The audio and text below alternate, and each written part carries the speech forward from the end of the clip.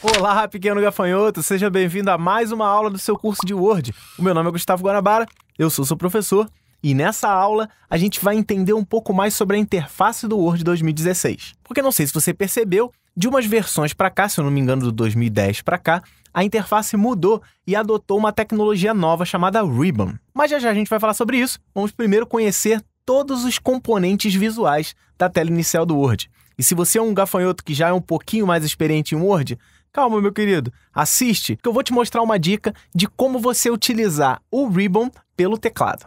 Então, nós estamos aqui na tela do Word. Eu criei um documento novo, já, já a gente vai começar a trabalhar com documentos, mas eu quero te mostrar algumas informações visuais da tela do Office. A primeira coisa que você vai ver na tela é a barra superior.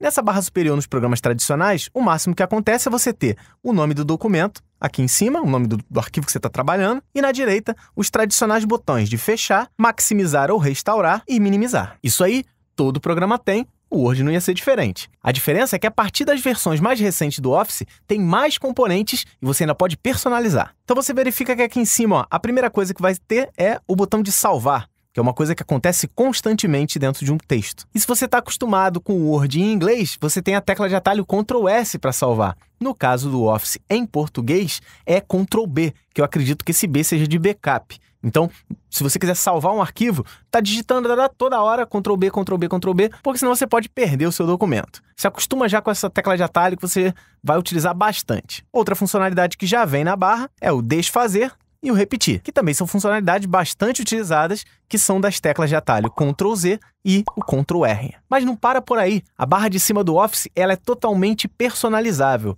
Dá uma olhada só. Ao lado desses três botões que vêm por padrão, eu ainda tenho um quarto botão que é personalizar a barra de ferramenta de acesso rápido. Então eu posso colocar aqui, por exemplo, um atalho para criar um novo arquivo. Então ele vai ficar aqui. Um atalho, por exemplo, para verificar a ortografia, que fica aqui. Então você pode personalizar a qualquer momento, você pode ligar ou desligar qualquer um de acordo com o que você esteja precisando. Você também pode clicar em mais comandos e ver todos os comandos que estão disponíveis no Office e você pode colocar eles na barra de cima. Tá vendo como você não sabia de tudo? Outra coisa que você pode personalizar no Office é a interface dele. Tem gente que gosta das interfaces mais claras, tem gente que gosta das interfaces mais escuras. Tudo isso é personalizável dentro do Office. Isso é personalizável diretamente na barra que está abaixo da barra superior, que é a barra de Ribbon, onde o primeiro item é o item Arquivo, que é o único que abre uma tela específica, que é a tela de informações. Clicando sobre Opções aqui na parte de baixo, você vai abrir a tela de opções e na aba Geral é onde você pode escolher o tema do Office. Pode ser o colorido, que é o padrão, pode ser cinza escuro, vamos dar OK aqui para ver. A interface fica mais escura, com o foco principalmente no texto. Você pode vir aqui em arquivo de novo, opções, e no lugar de cinza escuro você pode colocar branco, que é uma interface mais limpa, que é branquinha, só branca e azul, e permite que você também foque no texto, só que de uma tonalidade mais clara. Vou voltar aqui para o padrão. O padrão é o colorido. E eu vou deixar porque a maioria das pessoas utiliza ele. Eu, particularmente, também uso a interface colorida que permite o cinza aqui e tudo mais. E a barra de Ribbon também oferece algumas coisas que são quase escondidas. Acompanhe aqui comigo. Tirando a primeira aba, que é a aba de arquivos, você tem todas elas abrem abas específicas, tá vendo? Então ele, eu vou clicando e modificando. Umas coisas que são escondidas nas abas são esses pequenos botõezinhos aqui, ó, que dão mais opções ainda do que o normal. Por exemplo, vamos para a página inicial e eu tenho a formatação de fontes. Essas são as formatações padronizadas do Office. Se você quiser mais opções, você clica sobre esse botãozinho aqui, ó, e ele vai abrir todas as opções sobre fontes. O mesmo acontece para parágrafo, para estilo e tudo mais. Alguns, por exemplo, aqui, ó, você vem inserir, por exemplo, ilustrações. Você percebe que não tem o íconezinho aqui embaixo. Isso significa que não existe nenhuma opção a mais para ilustração. Então, se você sempre que você abrir uma aba e ele tiver um íconezinho pequeno, significa que ele pode abrir mais opções sobre esse painel. E tem uma novidade do Office 2016 que também está presente nessa barra de Ribbon. Se você prestar atenção aqui, no final da barra de Ribbon, você tem o Diga-me o que você quer fazer. Por exemplo, aqui eu vou digitar curso em vídeo. Eu vou gerar um parágrafo aqui, gerar um parágrafo com quatro frases. Só para exemplificar aqui. O quê? Você não sabia que dava para fazer isso? Então você não assistiu todos os vídeos, meu querido. Clica aqui e você vai ser desviado diretamente para a playlist para você ver todos os vídeos de Office. Vejam eles em ordem, né? Porque a gente colocou isso passo a passo para o seu melhor aprendizado. Então, por exemplo, eu posso selecionar aqui curso em vídeo e vir aqui em cima, indica o que você quer fazer, e ele vai te pedir sugestões sobre o que você quer fazer. Por exemplo, eu quero configurar o tamanho da letra. Aqui, ó, o tamanho da fonte.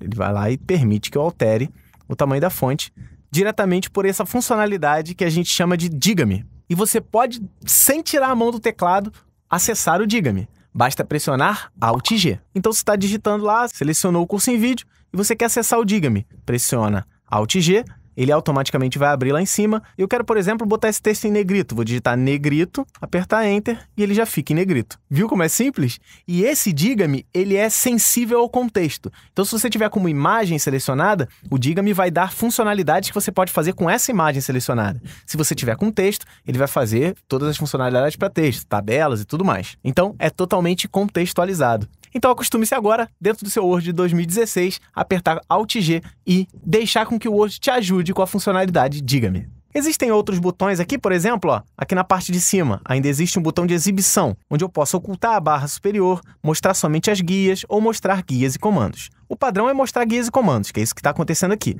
Você também pode mostrar somente as guias os ribbons serão fechados e só serão abertos quando você clicar sobre eles. Então, fica fácil de você acessar. E quando você voltar para o texto para trabalhar, ele encolhe. Uma outra maneira, se você precisar de mais espaço, se a sua tela for muito pequena, é ocultar a faixa de opção. Então, você fica somente com o texto para trabalhar e a qualquer momento que você queira acessar o ribbon, você passa o mouse na parte de cima e clica sobre a barra azul e ele vai abrir o ribbon de novo. Só que existe uma maneira mais fácil ainda de abrir um ribbon que está escondido, apertando a tecla Alt. Você aperta e solta a tecla Alt e ele vai aparecer. Olha só.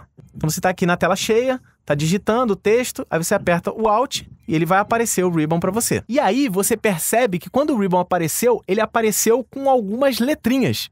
Olha só como é fácil. Lembra que eu falei que no início você poderia acessar de forma fácil? Apertou o Alt, soltou, o Ribbon aparece com as opções e você pode apertar essa letra para poder trabalhar com as opções sem precisar usar o mouse. Então, por exemplo, ali, ó, se você olhar lá em cima, design tá com a letra D. Então, vou apertar o D no teclado, ele abriu o design. Se eu apertar e soltar o Alt de novo, ele vai dar, sei lá, página inicial é C, foi para a página inicial. E ele já abriu outras letras. Estando dentro da página inicial, eu posso acessar, por exemplo, a fonte apertando FO. Então, eu aperto F, O, e ele abriu a fonte aqui para eu editar. Qualquer momento, apertei o Alt de novo, ele vai abrir o ribbon, sei lá, vou em exibir, aperto a letra K, e aí, sei lá, ele quer exibir a régua. Eu aperto a letra R. Ele exibiu a régua do texto. Viu como é que é fácil? Você sabia isso? E esse macete do Alt não funciona só com o ribbon escondido, não. Vamos exibir ele de novo. Apertar o Alt para exibir, vou vir aqui em cima, ó, e vou mostrar guias de comando. Eu vou ficar exibindo normalmente. Então eu quero ir para a página inicial. Ou eu vou com o mouse, ou aperto Alt, aperto C e ele vai diretamente para minha página. Sei lá, minha página eu quero agora exibir as marcas de parágrafo. Vou apertar o 8 e ele vai mostrar as marcas de parágrafo para mim. Então você pode usar o mouse, mas você também pode usar o Alt, que é muito útil para você. E aí, você sabia disso? Viu como aprender o Word nem sempre é você saber usar o básico? Você pode aprender mais coisas e eu tô aqui para te ensinar. Eu tô aqui para te ajudar com isso. Então mostre esse curso para o maior número de pessoas que você saiba que usam o Word e que precisam dessas ajudas. Na parte do meio aqui, a gente tem o nosso documento de trabalho. Então a gente acabou de exibir as réguas aqui, ó. Se você vier em exibir, pode, pode marcar aqui régua e ele vai exibir ou não exibir régua, linha de grade, isso tudo se você precisar. Existem essas possibilidades para você poder editar o seu texto com mais facilidade. Se quiser, você pode trabalhar o zoom do seu documento. Você escolhe aqui a porcentagem, eu quero visualizar ele em 200%. Aperta OK.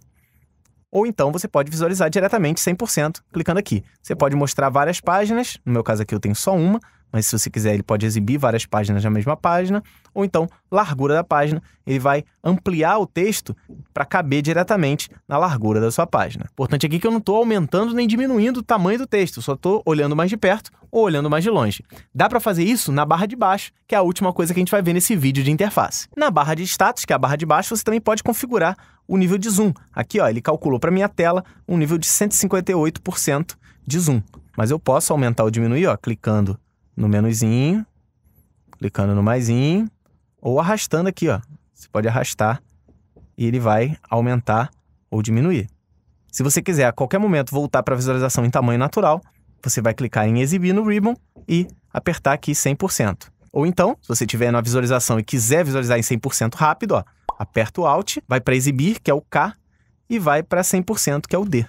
Então, apertando Alt, E D, ele vai para 100%. Outra coisa que você vai encontrar na parte de baixo são os modos de visualização. Modo de layout web, modo de impressão, que é esse modo que está aqui a gente está vendo, ou o modo de leitura, onde ele vai abrir na tela inteira e o foco vai ser na leitura do conteúdo, não na formatação dele. Então, se você quiser ler um documento, ele não permite que você edite mais nada, você só pode selecionar e ler, e aqui ele vai abrir as abinhas para você ir lendo o conteúdo. Para voltar para o normal, ou você clica aqui embaixo no modo de impressão, ou você vem aqui em modo de exibição, você vai editar o documento e ele volta para o modo de impressão. Além disso, você também tem os ícones de gravação de macro, idioma do documento que está sendo editado no momento, o verificador de erros de português ou de idioma, a quantidade de palavras que existem e a quantidade de páginas que existem. Na parte superior do Word ainda você tem o usuário logado com a conta da Microsoft e o compartilhamento de documentos com outros usuários.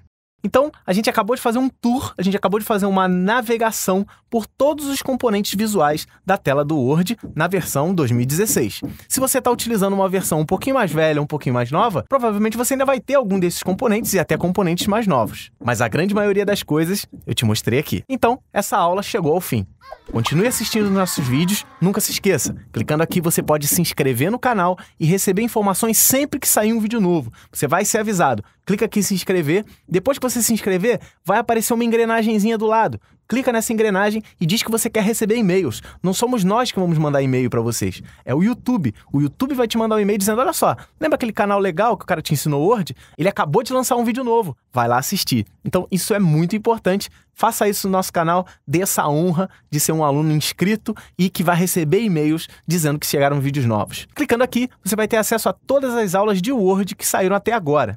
Aqui no meio é o acesso ao nosso site do curso em vídeo. Então, se você precisar de algum material do Word, está aqui diretamente no cursoemvideo.com, onde você pode se inscrever no curso e ter acesso a todos os materiais que podem ser baixados e que vão auxiliar nessa aula. E nunca se esqueça, na parte superior aqui aparece um izinho. Nesse i de interatividade tem todas as informações extras que a gente colocou para você dar uma estudada e complementar os seus estudos em qualquer coisa que o curso em vídeo vai te ensinar sempre de graça.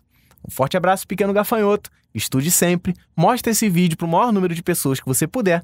Com certeza, esse vídeo e esse curso vão ajudar muita gente por aí. Um forte abraço e até a próxima.